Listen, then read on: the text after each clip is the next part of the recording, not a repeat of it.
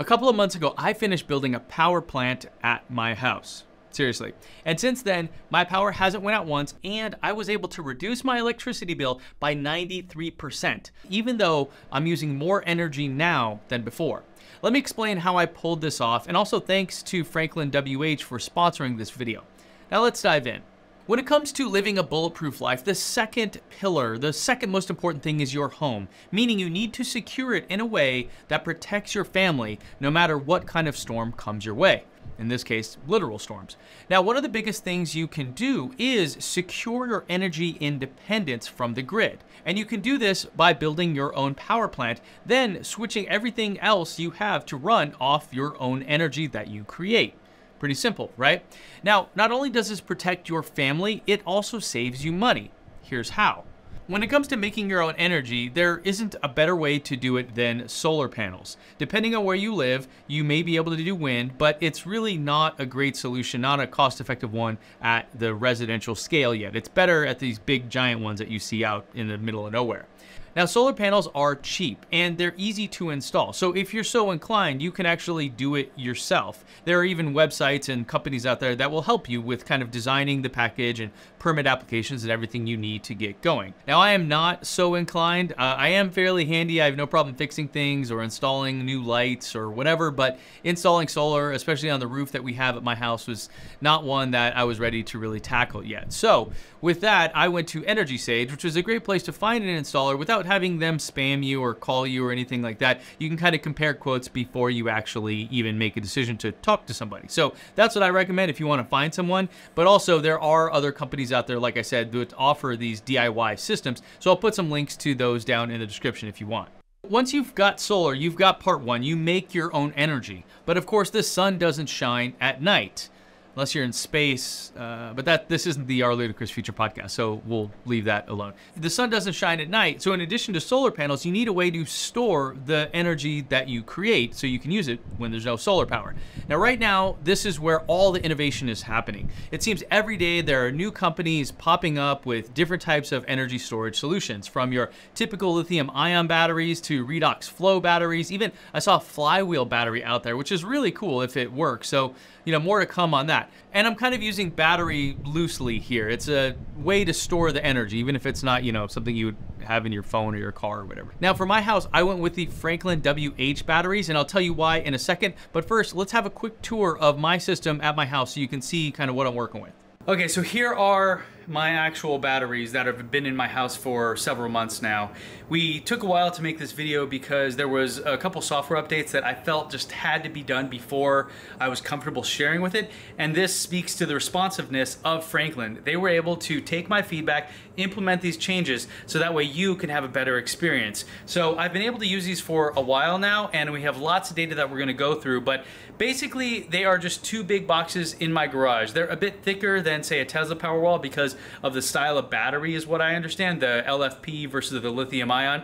And so other than that, they're basically just two white boxes you kind of fit anywhere. They can't go outside. For me, with the ground out there, it didn't really make a lot of sense. It was uneven, it's not stable. So we put them inside here and they really haven't caused any problems. We, you know, kind of fit stuff all around them. Didn't really lose much storage or anything like that. So, so far in terms of their performance here, there's zero noise. There's really nothing that happens other than this little light goes up and down as you use energy. So in the morning when I come out and do my workouts, usually it's pretty low because I have a reserve. But other than that, you really don't notice anything other than, you know, they're sitting in your garage.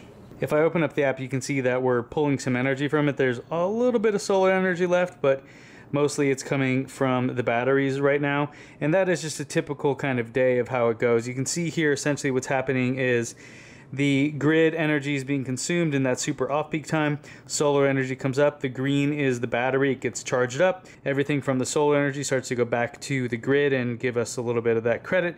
And then at that peak hour, we see that the battery kicks on and it essentially eats it from there. So that's a typical day using those settings. I'm using the time of use setting and I have a 5% reserve for outages.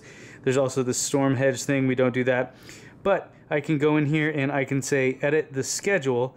So this is kind of how the schedule is set up. We have our super off peak, our off peak, our on peak, etc. But this is, you know, we have weekdays and then weekends are a little bit different. There's also summer rates and then there's, so you can set up certain months, different things. Right now I just had it set up as, you know, all the same.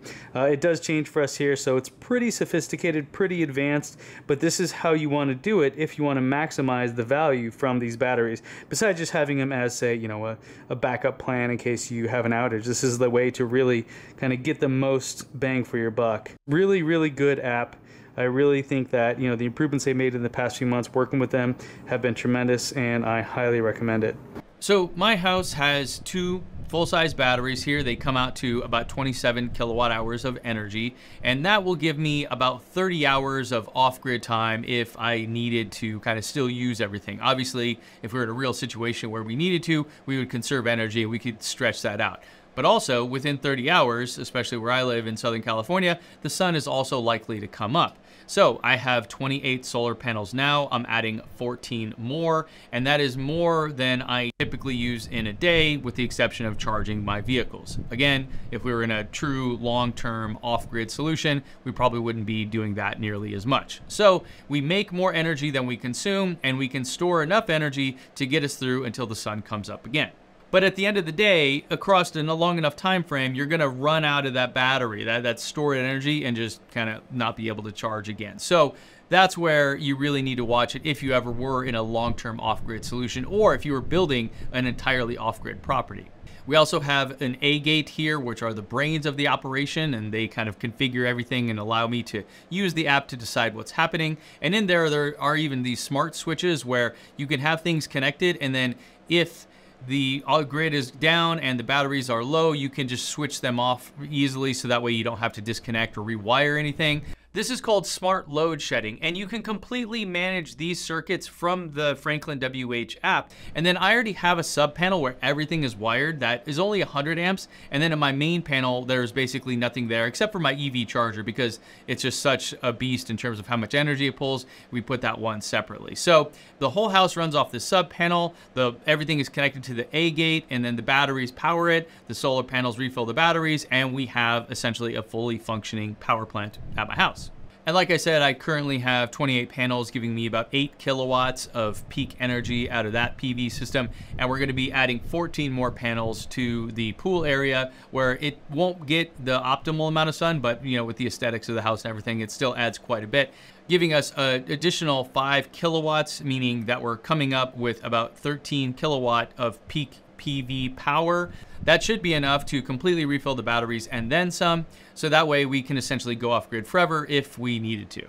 Now these batteries are special. They're lithium iron phosphate, which is different than the typical lithium ion batteries. And the cool thing about that is that they last so much longer and they have really good thermal stability, meaning they don't get really hot. The risk of a fire or anything is extremely low. And so with that, I think it's a better solution than other lithium ion options out there for home batteries. And also because of that, they don't lose their capacity, meaning you can charge them almost all the way down to zero up to 100% again and again and again. And the cycle life is just way, way longer, which is why they're able to offer a 12 year warranty, which includes battery performance degradation down to 70%. That means that up till 12 years, if you go to fully charge this thing and it only gives you 70% or less, they will replace it for free. It's still under warranty. Now that is tremendous because that right there is how you're able to make up all the cost associated with installing the system. And that difference there, that long warranty, the cycle life, the reusability, the thermal stability, that is what actually made me choose Franklin before we even ever decided to partner on anything. In fact, that's how a lot of sponsors on the channel happen is I do the research, I find the thing that I think would be best, and then we reach out to the company. And that's what happened here. So with Franklin, it's one of those where it's a great solution that I was choosing, and then they happen to be interested in partnering with me. So you can be sure that what I'm telling you here is legit, as well as the data I'm about to share about how I've actually been saving money. Over the past 12 months, and prior to that, we owned the house, but I was just using it as a studio, so the electricity usage isn't really relevant, right? It was a, I was there, one person, uh, a few times a week, whatever. So now we're there full time. We've been in there for almost 12 months. The first bill I got after we were there for a full month was $826. Crazy, right? Now I did figure out that I didn't have the right EV time of use plan. I knew that I needed to do that, but I wasn't sure. And so then after I did that, that dropped it from that $826 in a couple months down to $320 uh, and then $370 so you know about half. And then since then adding the battery my usage is actually going up as the summer months are here. We're using air conditioning a lot and those kind of things as well as charging fully two vehicles there. My most recent bill was $59 now that doesn't include some non-bypassable charges etc etc but I went from $826 to $59. I mean, that is a tremendous drop, right? Now, the thing about that that's even more interesting is that not only is this a 2,400 square foot home, all one level, with air conditioning running. My wife is there full time working from home. We've got two kids, a dog, you know, all the typical American family type stuff.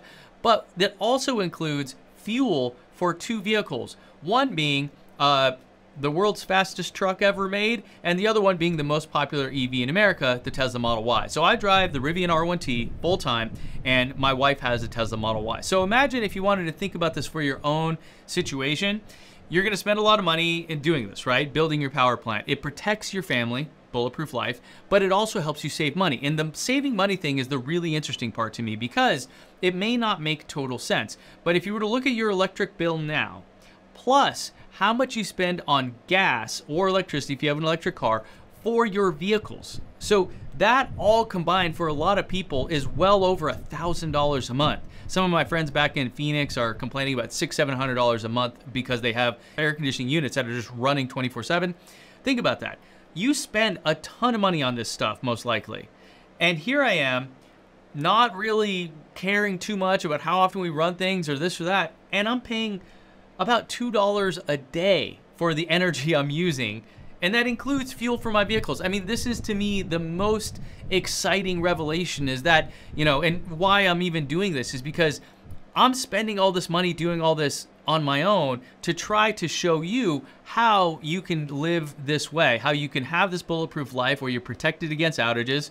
Every day I seem to see a, a new headline like that and save money at the same time. That's why they don't have to be mutually exclusive, right?